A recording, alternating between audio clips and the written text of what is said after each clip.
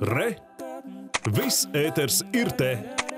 Salīdzinoši neliels skaits bēgļu izmitināti Daugopilī, bet tas tik un tā izraisīs dažu pilsētnieku naidu pret Ukraiņiem. Tiek izplatītas viltu ziņas, piemēram, par agresīviem jauniem vīriešiem, kuri meklē strīdu ar vietējiem. Taču no visiem bēgļiem tikai daži ir vīrieši un visi sirmā vecumā. Absolūti lielākais vairākums ir izmisušas mammas ar bērniem. Un no Daugavpils turpināja Kīnca. Par. Vika meklē kurpes dēlēnam, kura vienīgais apavu pāris ir ziemas zābaki. Daudzi kara bēgļi uz Daugaupili atbrauc ar to, kas mugurā un nelielu somu. Atradām šādas, un arī čībiņas, lai kopmītnē staigātu, pat ārā apavus. Labi, tieši tas, ko vajag. Viņa atsakās pat no pārtiks pakas, jo kopmītnēs arī ēdina. Cilvēki palīdz, mūs baro un ir labi uzņēmuši. Jelena nav saskārusies ar kādiem naidīgiem izteicieniem. Es tikai pirms nedēļas atbraucu. Valoda nav barjera. Visi runā ar mani krieviski un ir laipni. Lai kur ko vaicāju, visi ir atsaucīgi.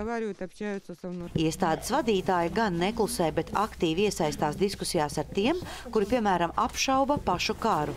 Es visu laiku to diskutēju. Diskutēju mans vīrs arī Jānis visu laiku. Tāpēc, ka šeit ir 80% krievu tautu tautības cilvēku. Un e, es nesaku, ka visi tādi, es arī krievu tautība, tā cilvēks arī.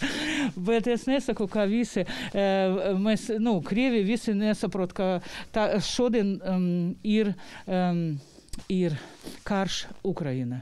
Jā, bet mēs zinām, ka ir karš. Mēs zinām, ka.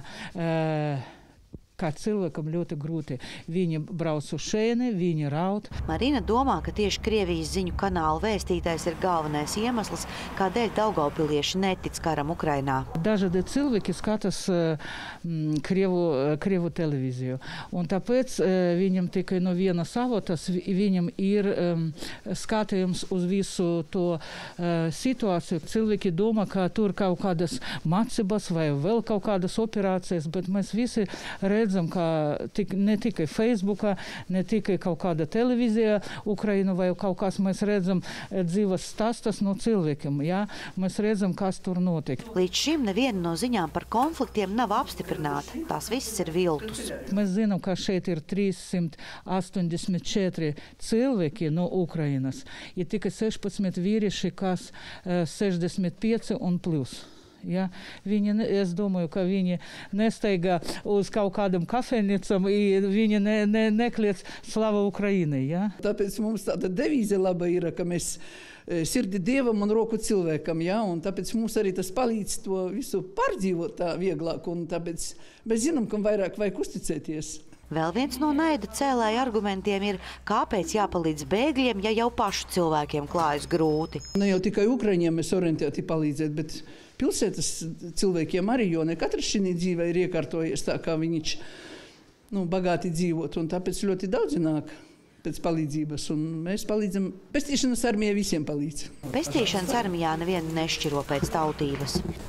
Tā kā dzirdu pasis numurs, avo, atradu kamēr pieradīsi pie visām pasaulēm. Palīdz kā vien var, gan ar drēbēm un produktiem, gan grāmatām un zīmuļiem.